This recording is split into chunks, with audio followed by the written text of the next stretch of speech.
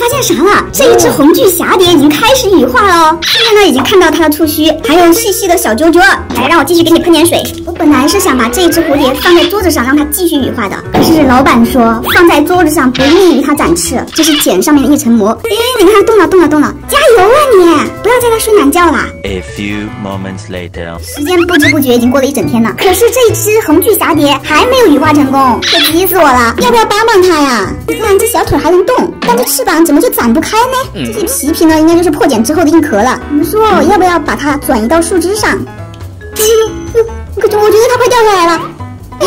完了完了完了完了，掉下来了！妈呀，这小翅膀咋这么点了？嗯，还是让你挂上去吧，要不然你展不开翅膀。终于给它调整了一个好一点的姿势，这两只小翅膀现在应该不受什么约束了，只能帮你到这了。后面的路必须你自己走。你看看你的同伴蹦跶多欢实啊，你自己要坚强哦。伙子们，你们觉得这只蝴蝶能羽化成功吗？a few moments later，伙子们，很遗憾地告诉大家，这只红巨侠蝶羽化失败。一两天时间呢，它依然还是这个样子，现在已经完全没有动静了，太可惜了。这翅膀如果能展开，该有多美丽啊！我也不知道是啥原因，但老板说这是大自然的规律，总有百分之五十的蝶蛹羽化不成功。好吧，现在我们只能一心一意的饲养这一只青斑蝶了，太可怜了，以后你就独自闯天涯，也没有同伴陪着你。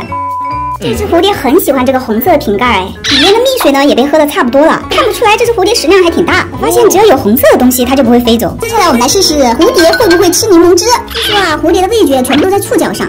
哎，啥意思啊？你闻到柠檬的酸味了吗？那你喝柠檬汁，你就把脚收起来了。这只蝴蝶好像很抗拒的样子，哎，我们试试把它的吸管扯出来，也就是它的嘴巴。来来来，尝尝味道。哇，它好像不喜欢吃，原来蝴蝶也怕酸呐。求求你做个人吧。你看飞走了，这个瓶盖呢，马上可以把引诱回来，太神奇了。接下来我们换一个食物，红西瓜，既是红颜色，而且还甜甜的。我们试试它吃不吃。来来来来，爬上来，爬上来，尝尝尝尝。哎蝴蝶主动用吸管去尝了一下，好像味道还不错。不停地用吸管在吸食西瓜汁，哇，好好玩呢！想不到蝴蝶真的是非常喜欢吃这种甜蜜蜜的东西，而且超级喜欢红色。而且吧，我发现就算蝴蝶飞走也没有关系，你只需要拿一瓶蜜水，最好是红色的容器，只要放到它身边，它就会被你吸引过来哦。好玩吧，神奇吧？伙子们，赶紧养一只属于自己的蝴蝶，简直就是太可爱了！你看怎么甩都甩不掉，摸了它也没事儿。